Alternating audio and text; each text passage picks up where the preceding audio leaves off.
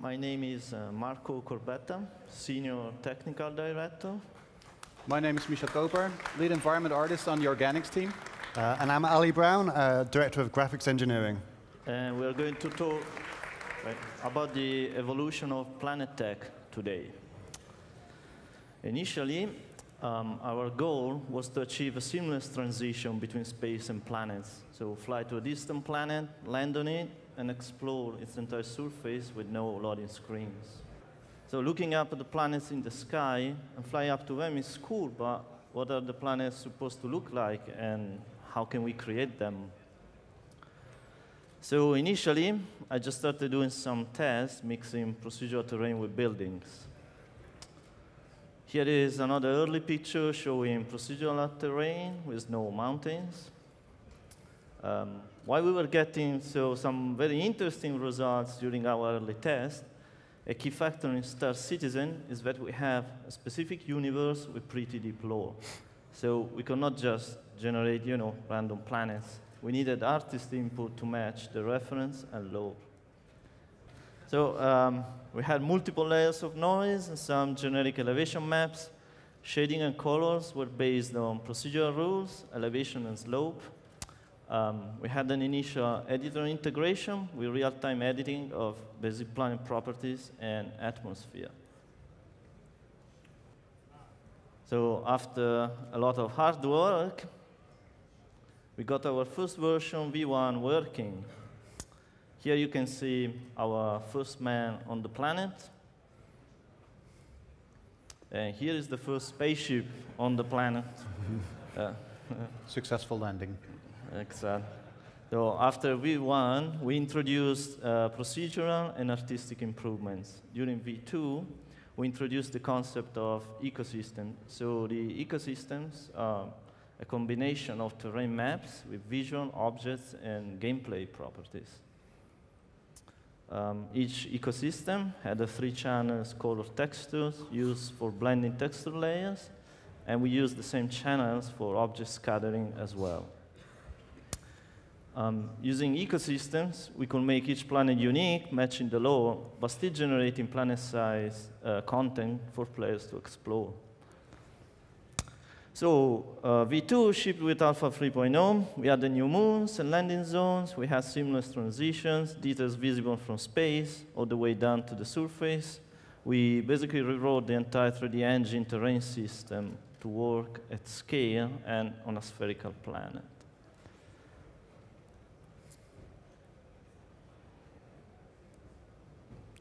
Uh, Alpha 3.0 was multiplayer ready.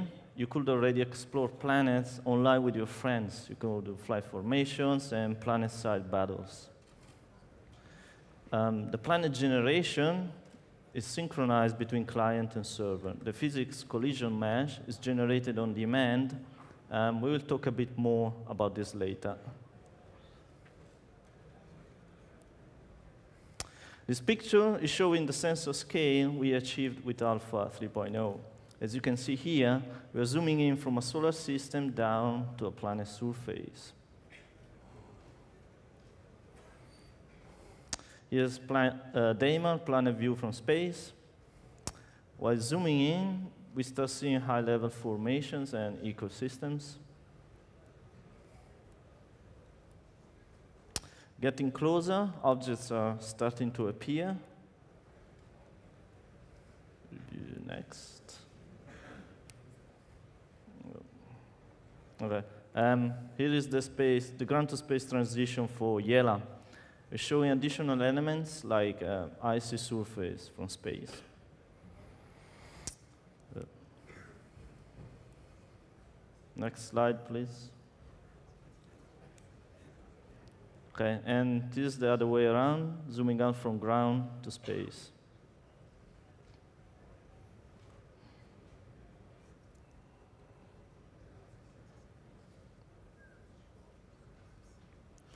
Okay, with version 3, we decided to introduce more uh, artistic control. Here we can see the artistic improvements made to Yela in version 3. Version 3 shipped with Alpha 335. We added new moons and new planets, including a city planet covered with buildings. We introduced real day-night cycles, so planets are actually rotating in real time. And we made a large amount of tools improvements and built a new vegetation system.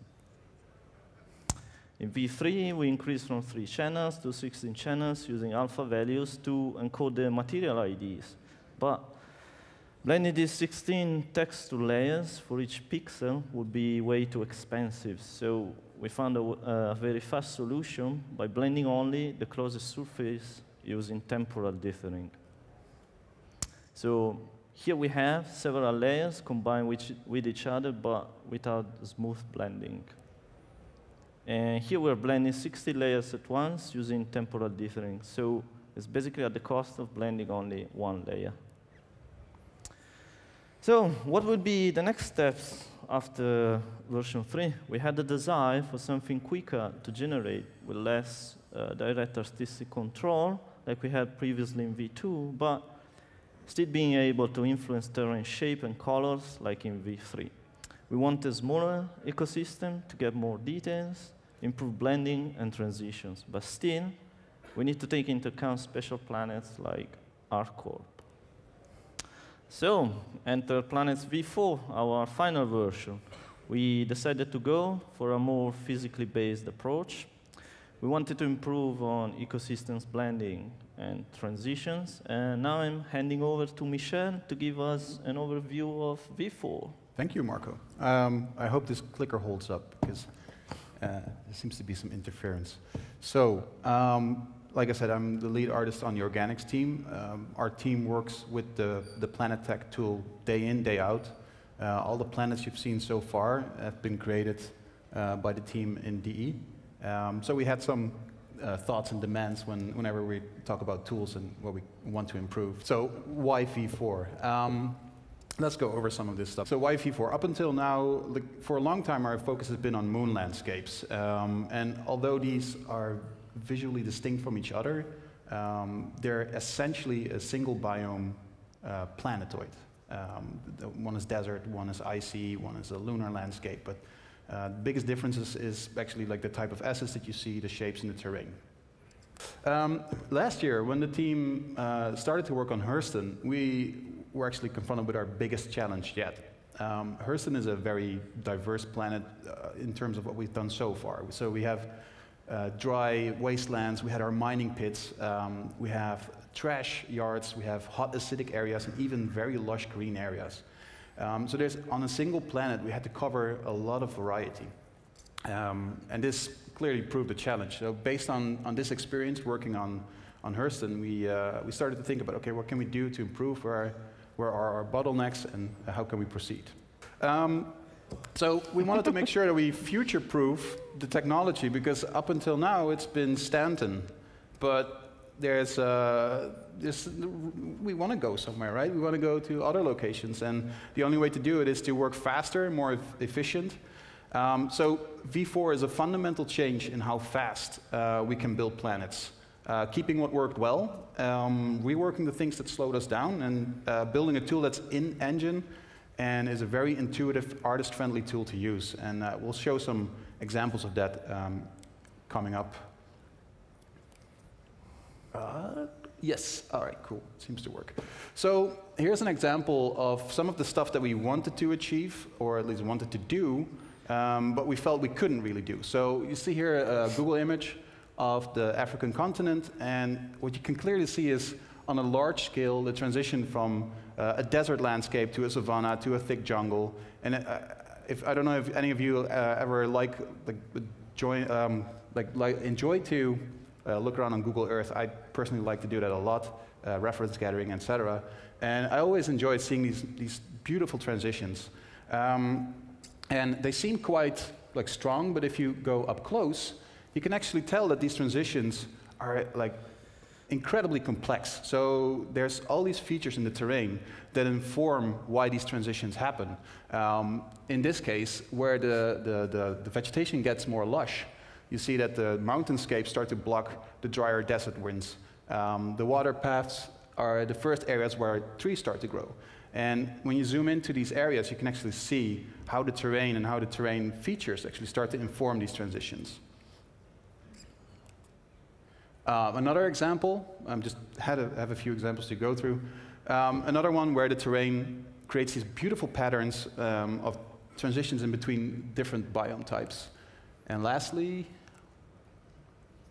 wow, please. There we go. Uh, European Alps, where the transition in, in height actually uh, causes a transition from like a regular green area to like the snowy mountains. And these transitions happen over an incredibly large area. So um, let's have a look and go back at, uh, Hurst, to Hurston and have a bit of a chat about the challenges we had. So uh, we were not really unhappy with the, the results that we were getting, um, especially up close. I think that was, pretty good, um, especially considering the skill of our game. Um, but we needed a wider range of biomes, and we could only imagine, like, if you think about Terra Prime or anything that's, that's very complex uh, that we still want to do, um, we needed a system that worked smarter and better. So it became clear that our tiled approach uh, was making it really hard to, to scale uh, and create convincing uh, transitions. Next slide. All right, so um, this is a very unflattering look of uh, Hurston. I turned off the atmosphere and some of the, the effects that usually go on top of this. But what we usually do, or tend, uh, did before, was paint a global texture that sort of represents uh, the different areas on a planet. So what we have here is on the pole, it's a bit desaturated, but that's where the savanna area meets the wasteland. And although it's, it's not super crisp, it kind of gets uh, the point across, especially with the effects layered on top of it. When you start flying closer to the surface, especially with all the effects turned off, you start to see where the global texture uh, starts to fill, and you get this blurry look. Uh, the textures that are loaded locally for each patch of terrain or each tile is not fully loaded in, and you hit this dead zone in between where it just looks a bit blurry, a bit muddy, um, and it's not really getting us the results that we look, saw on Google Earth. Um, and then when you get even closer, you start to see the individual patches coming in. Um, the texture of the biome becomes visible, and although up close this, this is a cool result, uh, especially when you're walking in around it, um, these transitions, yeah, they, they, they can be uh, quite hard. Um, so what you see here is a few um, wasteland tiles met, like meeting savanna tiles. And um, the artist and the art team had a really hard time just trying to um, alleviate these areas to get, get, them as good as possible by creating additional tiles to sort of fit in between. And it, it became quite complex to set up and maintain, especially with uh, more biomes and more variety coming in. Uh, and the drawback from the color map up close is also that it didn't quite uh, had the resolution that we wanted to. Um, so more complex man, uh, planets meant more individual files to maintain. Um, all of these collected assets uh, informed the final look. So if you wanted to change a color on the planet, you had to go through all these individual files. Let's use the laser. So we had all these, um, these terrain files, these terrain sets. They had color information as well. So if we wanted the, the red on the planet to be a bit less red, uh, we had to tweak all of those individual files. Could meant like over 20 or even more. Um, the overall look and final look of the planet was easily made up of 500 files that we all needed to maintain, uh, keep track of, and make sure that they were all in sync. So this, you can imagine that this makes uh, addressing feedback, changes, uh, whenever I'm talking with Ian about art direction stuff, it, it becomes quite tedious to get all that stuff uh, polished up and very time consuming. So we had a, a, to do a fundamental rethinking um, of how we want to approach planets. And the first thing that we wanted to do was separate the process or the idea of a biome, uh, temperature, and whether it's lush or, or dry, from the actual terrain shape. Um, and by this, we could keep our terrain library clean, and we don't have to uh, create additional color maps for every time we want to have a different color or a different type of terrain uh, showing up. So that way, you can get large um, changes on a global scale. Uh, this is not Google Earth anymore. This is V4. And what we see here are natural transitions that globally, uh, occur globally due to gradual change in temperature, uh, humidity, and weather conditions. And because um, these are occurring over a large scale, informed locally by the shape of the terrain, uh, every area where it transitions or uh, where a biome appears is informed by the shape of the terrain and is truly unique to that area. And we're no longer seeing a patch of uh, dense savanna trees and then next to it is the, um, the wasteland and you sort of see that stuff repeat. It's a large scale transition and everything uh, flows into each other. So we're no longer fixing a biome to a specific tile. And that way, across the surface over the, over, of the entire globe, um, every area truly becomes unique. And this is an example of how extreme it could go with coloring, just as an example of some of the stuff you might see in the future. Um, just to reiterate this, this uh, the, another thing that we wanted to change actually um, is the blending, cross-fading, uh, transitioning between areas. And on the one hand, um, on the left side, we see V3 uh, zooming out. On the other side, we see V4.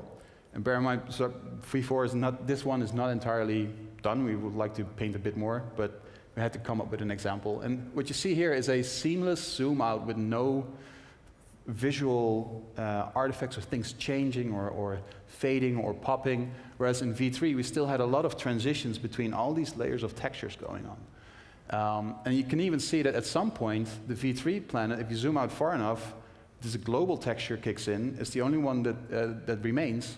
And it might actually have a completely different color uh, from where you actually started. And I'm, I'm pretty sure people have no, like experienced this as well. You see a spot on a planet, you want to go there because it looks cool. You go there, and it's actually a very different uh, color experience that you expected. Whereas the, on V4, you can actually still make out the pattern, the exact terrain shape that we started with. And I think this is a, like a big, big difference. Okay, let's move on to it.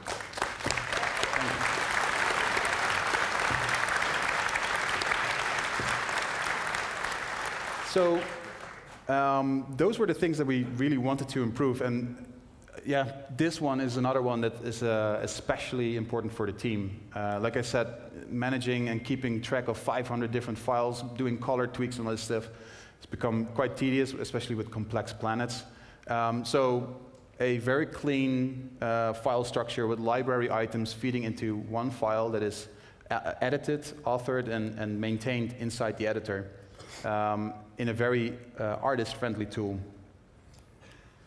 So proof in the pudding. Um, Chris already spoiled it. Uh, V4 meant that all, all the planets that we've done in the last, I guess, two and a half years since we started shipping planets had to be updated to V4, uh, which was a bit of a, you can you get a bit nervous from it, right? Um, that's a lot of work that we put into that. And um, it, it, was the true test of how efficient this new Planetech would be and how efficient this tool would be. So I'm happy to confirm that the team has updated every single planet uh, for 3.8 to V4. And this, it will be there.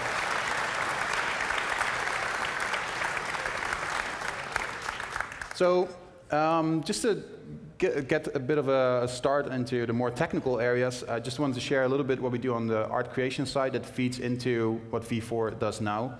Um, already for uh, the earlier version, V3, we used these uh, little simulation tools that um, one of our in-house artists, uh, Sebastian Schroeder, who had a big part in the v uh, Planetech V4, uh, he couldn't make it, but essential input. Um, he made all these cool simulation tools that help us with terrain simulation. Uh, we see erosion, which is one a, a very common uh, simulation that we that you would do with uh, building terrain. Uh, water flow simulation. Um, we see um, displacement of sand and soil based on wind input, and we see terracing. So these are just a, a few examples of the small little tools that we use in-house. And see, it helps. Um, up until now, these tools, they, we use them just as um, uh, like a personal thing, like you would have a brush in, inside your, your toolbox and you just use it, and then you have an end result, an output that comes from it, and then we feed that into the engine. So we were able to get, like, at a, at, if you're at the right distance, you get these beautiful uh, terrain colors and, and terrain maps. Um, so we're not unhappy with that. But every time we wanted to change something or I wanted to make a, a, different combination of colors or vegetation, you would have to redo it or make a new one. So instead of that, making uh, final outputs and specific masks, uh, we decided to get those tools and simulate stuff and use the simulated data and feed that directly into the engine. So this was the old one. Uh, we had masks, we had color maps, uh, specific patterns where, where certain assets would show up.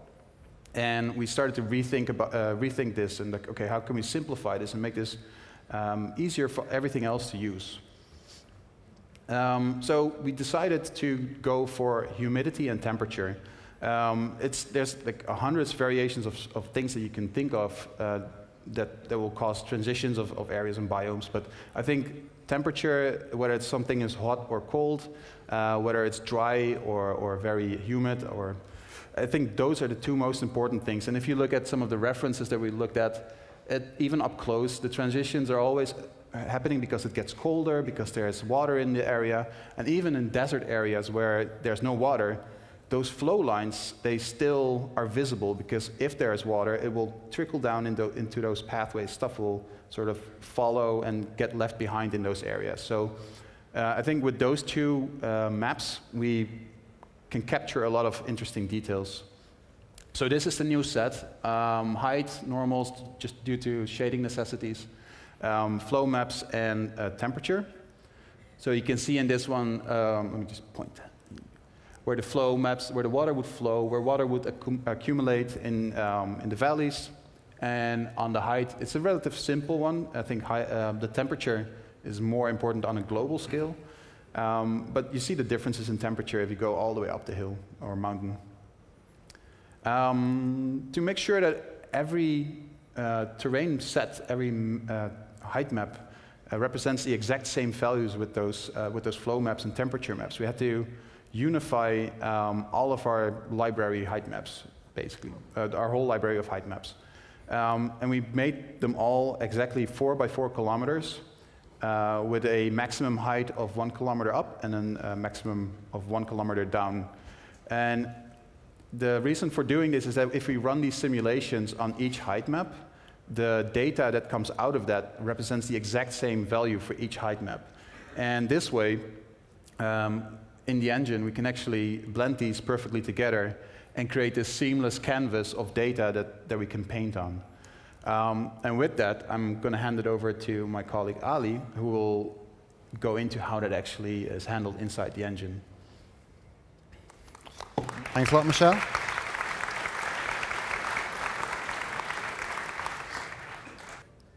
Right. So yeah, uh, to talk about how we make use of this climate data, uh, first I want to step, take a step back and talk about the different approaches to how you can build a planet.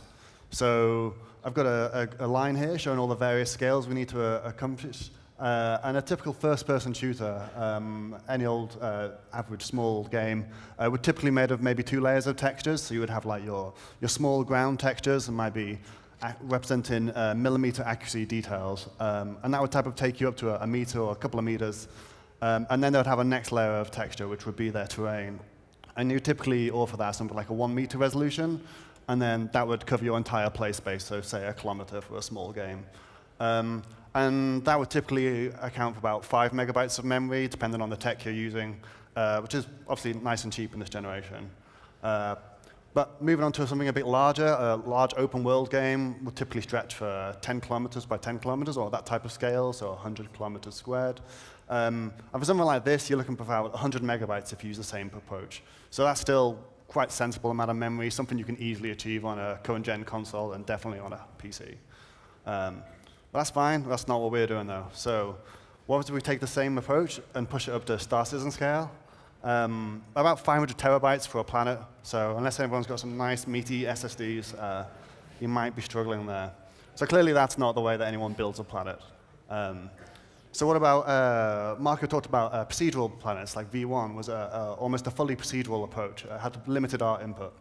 So uh, if you build a fully procedural uh, planet generation, what you tend to do is feed it with some very high-level data. It could be as simple as just the, the distance from the sun and the size, uh, the composition of the, of the crust, or it could be more detailed, like a, a map of the continents, things like this.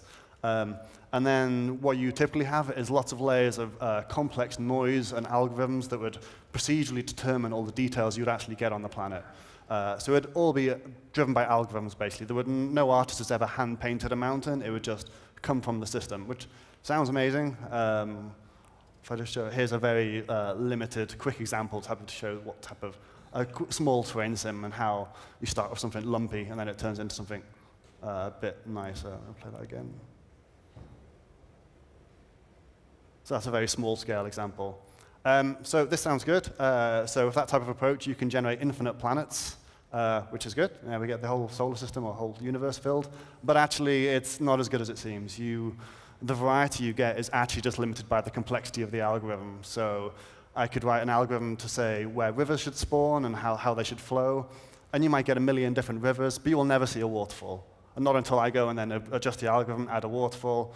So you end up adding more and more layers of complexity, uh, which is fine, but at some point, especially with a game like ours, and you're trying to simulate hundreds of different planets that are very unique. You know, we don't want 100 Earths or 100 you know, lunar moons. We want lava planets. We want you know, all these radically different planets. So this approach doesn't really work for us.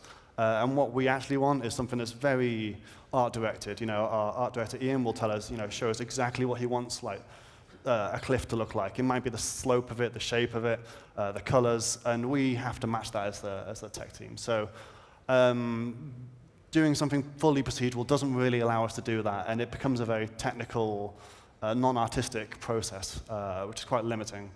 So what does Star Citizen do? Well, up till V3, we, uh, we combined four layers of textures. So uh, typically would use the first few layers you would get in a normal first-person game, uh, but then we had these two extra layers of textures that would stretch us all the way up to the global type of scale. Um, and we blended all these together in the shader, and it cost us about 300 megs of memory, which is something that you know, most GPUs can easily handle, so that, that's fine. Uh, but like Michel alluded to, um, it can be difficult to manage all these different layers and to blend them uh, to try and achieve the art direction at the uh, ground level, but then still to have a, a seamless transition to space. And there was always these hard decisions we had to make where if we wanted too much color variation on the surface, then the, from space we maybe couldn't achieve it. Or there was this constant balancing act, so we need to do something here. So the fundamental approach for V4 is to make use of climate data. Um, so we keep everything we had, uh, but rather than, like Michel said, painting actual color maps, we now paint this climate data or simulate the climate data. Uh, and on top of that, we apply a global rule set for each planet that says based on that climate, what would this planet do? Um, so this can tell you everything from what the color of the ground would be, whether it's sand or snow, uh, whether you might get a tree placed there or a rock. Uh, it, it, informs us everything about the entire surface. And by using type of this top-down and top, uh, bottom-up approach at the same time, we type of overcome all of the limitations that we had previously. Here's a 2D chart of uh, temperature versus humidity. Um, Michel mentioned we use these two, uh, these two properties because they seem the most relevant for most uh, variations on a planet's surface, but we're quite loose with the term. Um, the artists have a bit of flexibility what they put into them. And obviously, some planets or moons, especially, maybe humidity isn't relevant for them. We, can, we could theoretically just use any other single measure we want for climate there. But the point is, we've got two axes, two things we can control. So what we do is then, for each individual uh, point on this 2D graph, we get to, we get to pick exactly what we want uh, to appear. So down here, we might have, like, you know, obviously snow textures, where we have different types of trees appearing in the temperate rainforest. Um, we get to control the exact appearance at every single location within this chart. And we have 128 graduations of temperature and humidity, which leaves us with 16,000 vari variations we have to fill of to take what would appear on the planet at that specific condition, which is quite a lot to fill. Um, so here's a quick demo showing how a small terrain patch, just by adjusting the climate data, we can very quickly adjust the visuals. Uh, I'll just play that one again. And you see that we always get like logical shapes and colors coming in there. So yeah, the problem with this now, it generates as a new problem. We've got 16,000 sets of uh, conditions we need to set up somehow. So For the artists, that represented quite a challenge. Our first uh, approach was for them to have, like, they would manually create these rules where I want uh, this tree to appear at this temperature range and at this altitude, and it was, it was too unwieldy. So instead, we moved to a system where we literally paint the surface of the planet using like a paintbrush. So this is uh, a quick demo of this being used here. And because we don't want to paint the entire surface of the planet, when you paint on the surface, you're actually painting what you would like to appear at them climate conditions. So if you paint uh, somewhere that's 20 degrees C and uh, the humidity is 50%, you're actually painting every single point on the planet that has exactly those climate conditions. So by doing it this way, um, next slide, we can very quickly build up uh, very interesting biomes. And while it looks like you're just painting the small area of land in front of you, you're painting huge areas of the planet at once. Um, and this was something that was immediately appealing to the artists, because this is a very familiar workflow for anyone that's worked on a game engine uh, before, like a smaller scale one. Um, but yeah, it, it, scales up for us. So here we've just painted a few trees and bushes, and instantly you can see the whole area is now being. I think everybody did a little happy dance when that, that moment came in yeah. and the, the paint tool came in. well, So uh, when, we, when they paint all this data, it goes into what we call a lookup table, which is just that 2D chart. Uh, and we generate a whole bunch of different ones. So here's a couple of them, or three of them. Um, so we have the ground color, the type of surface that it might be, so snow, rock. So that informs the physics engine of what to do there and what textures we should place. But then we also have things like tree coverage, so how much, how much trees would spawn there so that when we, uh, at space level, we can still uh, draw the forests and draw the vegetation where typically most games would have to cull that stuff out. They just couldn't afford to deal with it. We can understand what the, you know, say if we're looking at the Amazon rainforest, we can understand what the color should be. Because we don't really want the ground color from space, like it might be brown in the rainforest, but we want the green of the lush trees above it. So we can generate all this data, uh, and we can use it at any altitude, and it gives us a lot of power. And also this rich information we can use for various other gameplay effects, which you'll see a bit more of later today. We saw a sneak peek of, uh, on our first demo of how temperature can drive things, but there's a lot to come with the, uh, this, these planet climate conditions. So here's, uh, here's a visualization of the climate on Cellin. Uh, the red and green are just uh, visualizations of the temperature and humidity. And one of the lookup tables is shown there, which shows, uh, I think that's the ground color. So once we apply that to the surface, it starts to look a lot more reasonable. and then same for Microtech. We've got all the climate conditions there. Uh, it's mostly snow and Microtech, no surprise, but yeah. And then to build it up from the surface to see the other side of it. So this is purely just the terrain plus the global lookup table. So it looks pretty boring at the moment. Uh, once we apply some temperature variations, there's a little bit more interest. Uh, the humidity variations gives us quite a lot. Uh, and then on top of that, we have um, medium scale type of uh, terrain textures, which are driven from the climate and the slope. And then finally, we add the, uh, the detailed textures. Now, our climate data is only stored at 4 meter resolution, so that doesn't give us you know, the, the individual stones and rocks. We have to add a layer of detailed ground texture. But we need them textures to look consistent with what the climate data tells us. So if the climate table tells us we should be having uh, yellow sand here, then we may need to make sure we have yellow sand. Now, we can't make a texture for every single scenario. So the solution for that is we normalize all of our ground textures so that they all have uh, an average of mid-gray color, which you can see in top left, uh, and then we have uh, an average amount of bumpiness, which is the, the middle one, and the right-hand side shows the roughness. So they're all type of normalized, so they have this equal amount of, of, of stuff, whatever it is they're storing in that texture.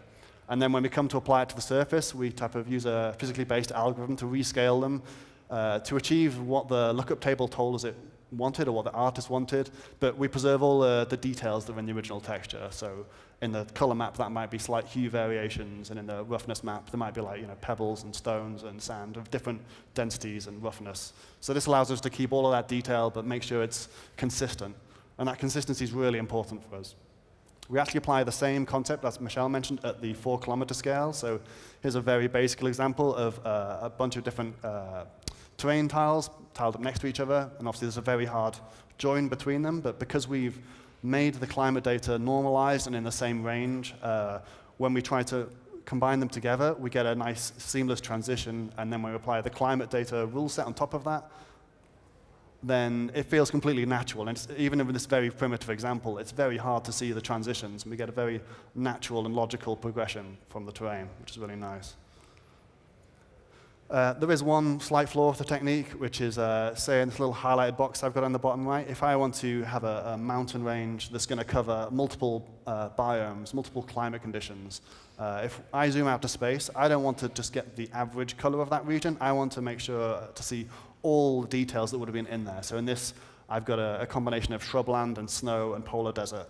So depending on how varied that terrain was, I should be seeing a mixture of them colors.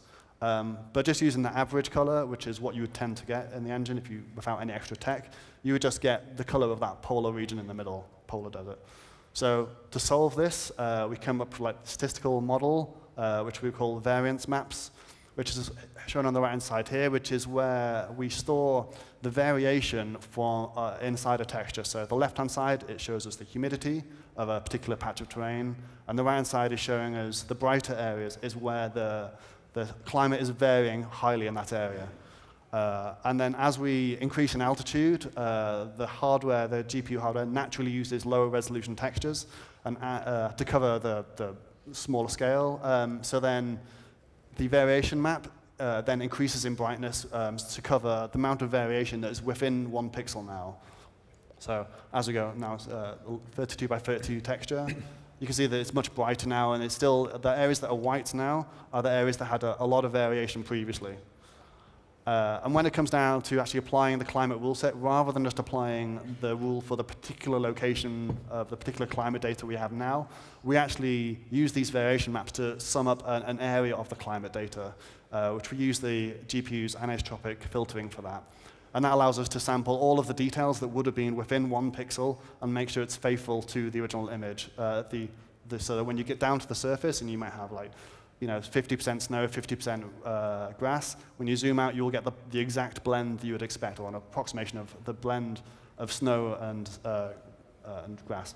So yeah, that, that really helps us make sure that we have that consistent view from space and a nice softness, and it, it avoids the need to have a blend to some other texture when you're far away. So that's, that's the real key thing we get from V4 in my eyes. So I'm going to hand back to Marco now to talk about how we put all this together and how we, we turn this into a planet. Uh, cool. Thank you, Ali.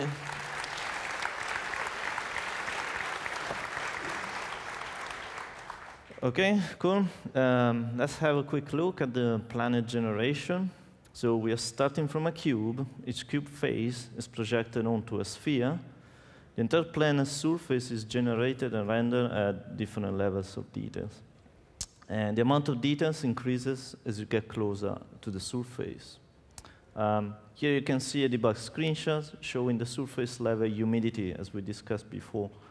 In V4, we are blending all nearby ecosystems for all terrain vertices using a bicubic interpolation approximation.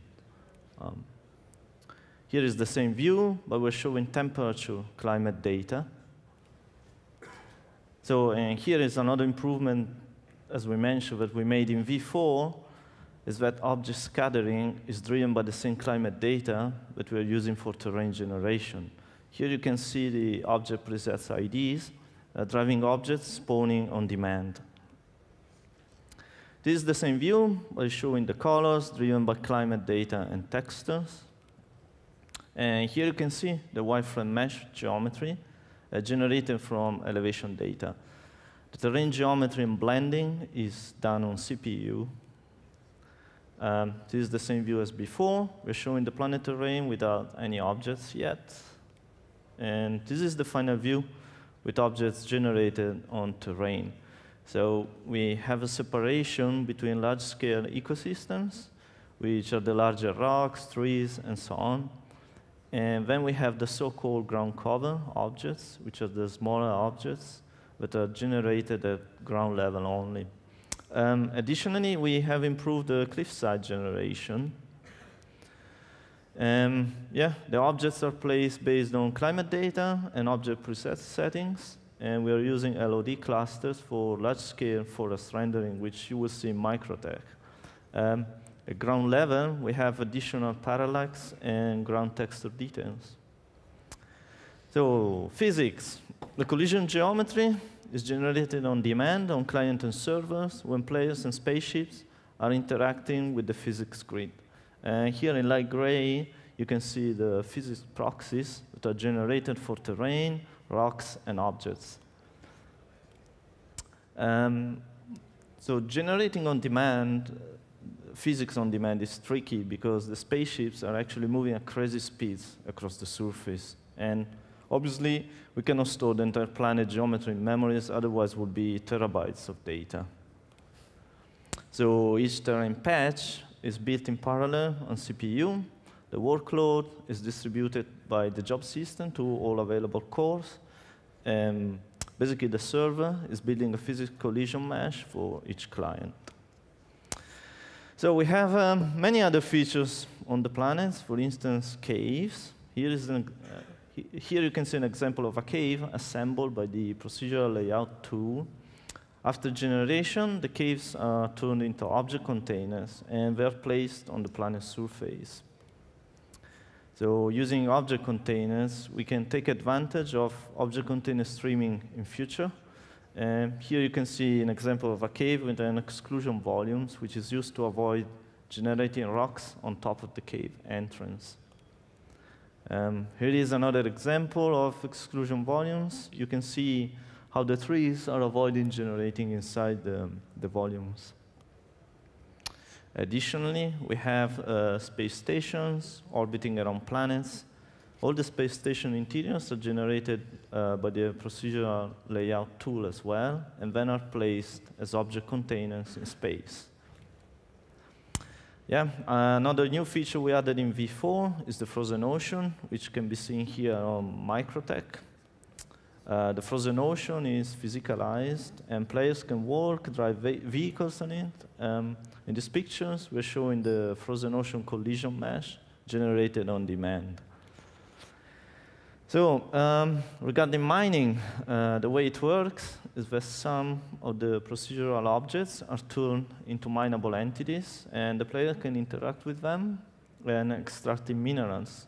And with persistency coming online, players are able to deplete planet resources, affecting the universe economy. So let's show some of the rework, which is coming with 3.8. I'm just going to let this run a little bit.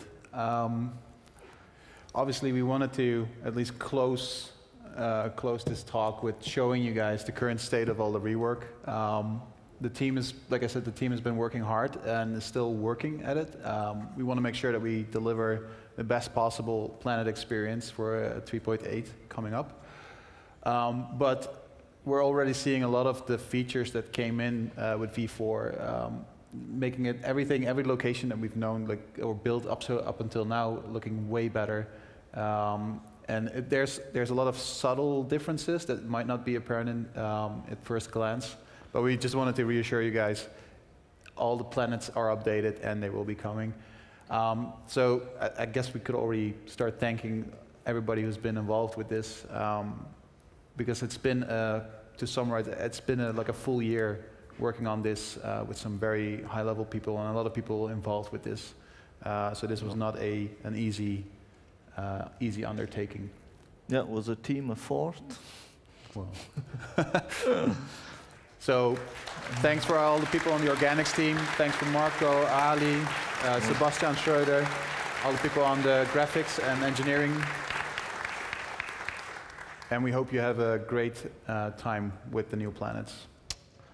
Yeah, um, I hope you guys have enjoyed this presentation. Thank you for listening and enjoy the rest of the show. Thank you. Thanks, guys. Enjoy Thank you. Thank you.